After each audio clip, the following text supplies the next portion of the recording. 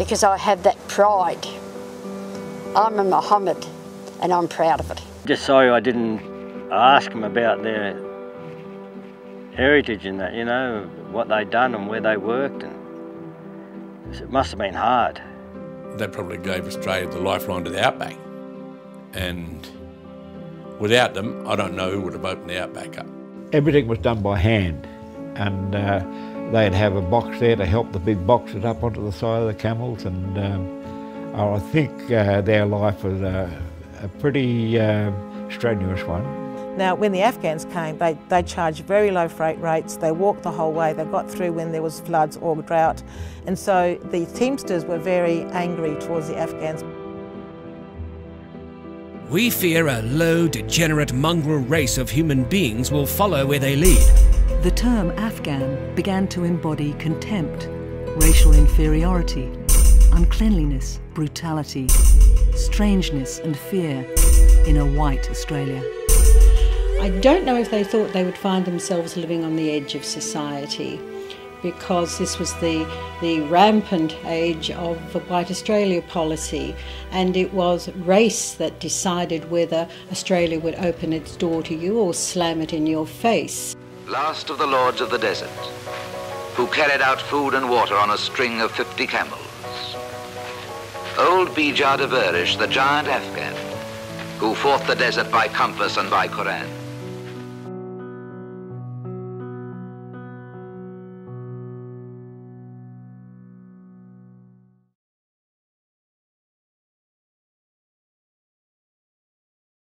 Ahmed Sabija in the film Back of Beyond. He was just a gentleman and actually got to know his son Jack quite well. Mr. Bejah, I used to give him a wave whenever taking the mail out. I still say I wish I could have been a camel there. Their life, in my book, was a very tough one. Pop Bejah came from Peshawar and came with uh, the camels, as did many other people who came from um, all sorts of different places and were collectively known as the Afghans. And uh, when he came, he had his own camels and um, in 1896 he actually went on the Calvert expedition, which mapped out a lot of the territory of, um, especially around uh, the Northern Territory and Western Australia. There's actually a hill called Bejah Hill in Western Australia. I think we're both proud of what they've done and um, you know we continue on doing it uh, you know researching and searching into it it's as if it's like as if there's a although the family ties are not there it's a bond and a common interest between the two of us that we've both got that something to be proud of and in our own little way we hang on to it.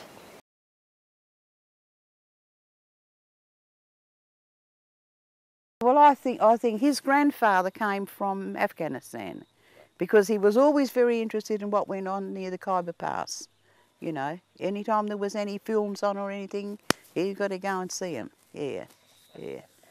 Uh, he was in Western Australia. He was a cameleer, as you know, with camels. Uh, my father was a, a, big, strong man. He was six foot plus, you know, and well built. And, um, um, and he was a champion wrestler. And he taught my brothers how to wrestle. yeah.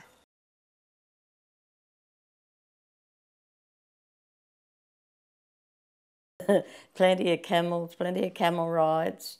Yes, oh, yeah, when we were young. Yeah, my dad, my dad had a, um, this great big old wagon and he had the camels in the wagon. And when we were kids, we used to all stand and watch him and his mate wave our hands and they were going away with the, the camels in front and this old big old wagon behind. They used to go and then be away for a fair while, then come back with all the wool on top of the wagon. The bull camels was very wild, sort of, but the one my, ones my dad had, we us kids used to have fun, you know.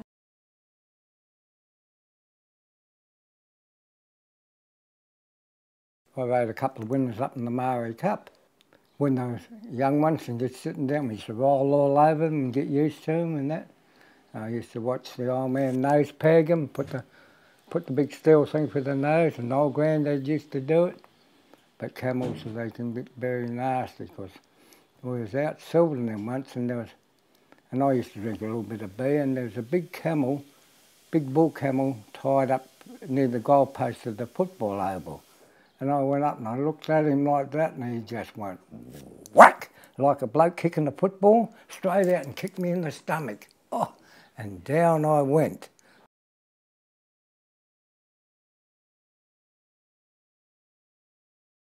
just Edward, he had his camels and he used to do to, like to take the load from Marree up to the Birdsville track and and and, and back with like the, with his with the camels and and uh, them days would be pretty hard, I suppose, wouldn't it, for him?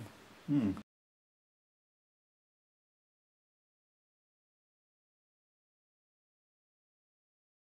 I don't think there's much difference at all, only that the Afghans lived in a different part of the town and, and other people lived in other part of the town. The food was uh, a little bit different. Like there's uh, the curries and rice and stuff like that. And that, uh, uh, compared to the other, what the other uh, people ate around the place, they, they had different types of food and that. But the Afghan food, we always had vegetables and and with the curry and, and gear like that, and always had sweets. pretty well, pretty well much near the same apart from the hot curries. And,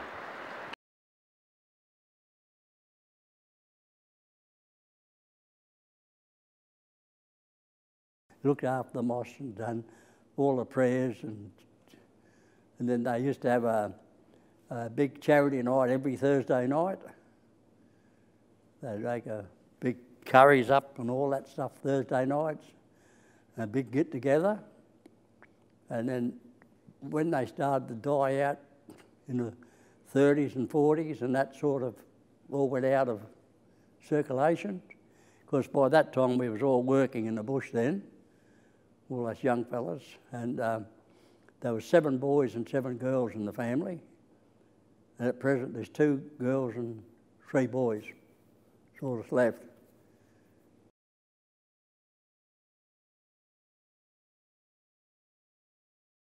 My grandfather's Bejah Dervish. I was only seven years old when Granddad died uh, in 1957, but uh, he was just a leader of men. He was a really big man, very big, even till you know till the day he broke his hip before he passed away like when we were kids those days, we we didn't go around. We weren't allowed to go and sit in with the old men while they sat around the fire pot talking or having a use smoking the pipe or whatever. But you know, we were sort of kept away from that. But in the work wise around the house, and I remember Pop, we used to kill. He used to have to kill all the sheep around the place for because of the religion but we were allowed to go there and help do that, catch a sheep, hang them up, and things like that. When we were, I was only a kid, as I said, but uh, I still remember doing those things, you know, and I know which way they they used to kill the sheep and what they used to pray and everything like that to kill the sheep. So.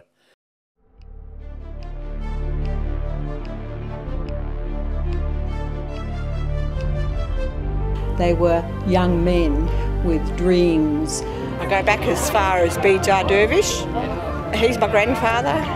Our ancestors opened up this country. And it was race that decided whether Australia would open its door to you or slam it in your face. We have to explain aspects of Islam for the rights of Muslims in this country. Time is precious. Each and every one of us will have to answer to Allah subhanahu wa ta'ala. Islam teaches us morals. We are Muslims and Australian Muslims.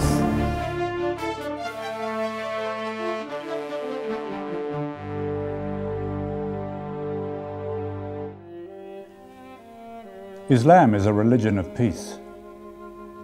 This message was carried forward by the Prophet Muhammad 14 centuries ago.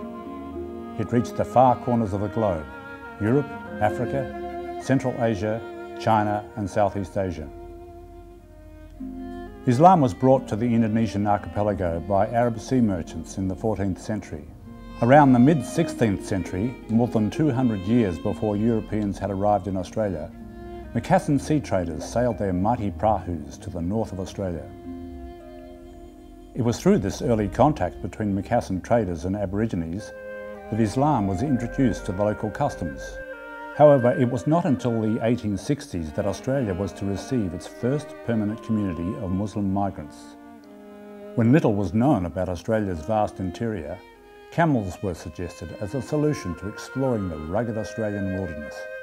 Between 1860 and 1900, there was an estimated 3,000 Afghans living in Australia.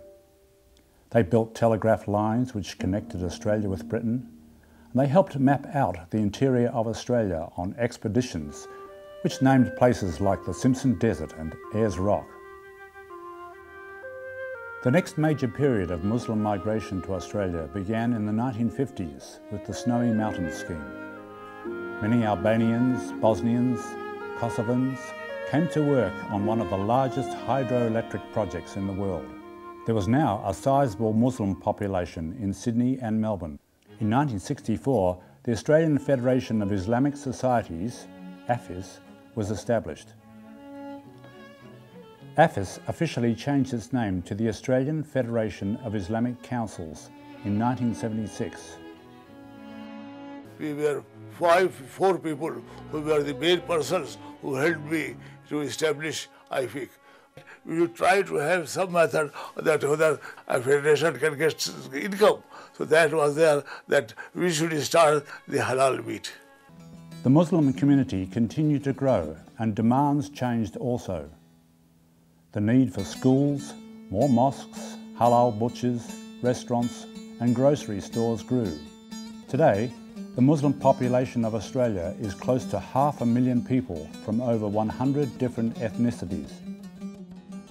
Well, through Islamic education, we can mold up the children's character and uh, to fit into this our own Australian society, but keeping their own identity that we are Muslims and Australian Muslims. Allahu Akbar, Allahu Akbar.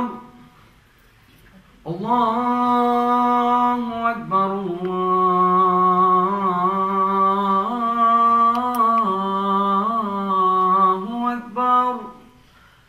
in setting up community institutions, and so on. All this requiring knowledge. Time is precious. Each and every one of us will have to answer Allah to, to Allah subhanahu wa ta'ala as to how we use our time. Well, basically, it's morals. Uh, you know, Islam teaches us morals, it teaches manners. And the Prophet Muhammad said, Ad-din al-mu'amala, that religion is, is dealings. So we try to instill in the children these, uh, these, these meanings of love for one another, help one another, look after one another, um, uh, contribute, to, co- contribute to the society that you live in.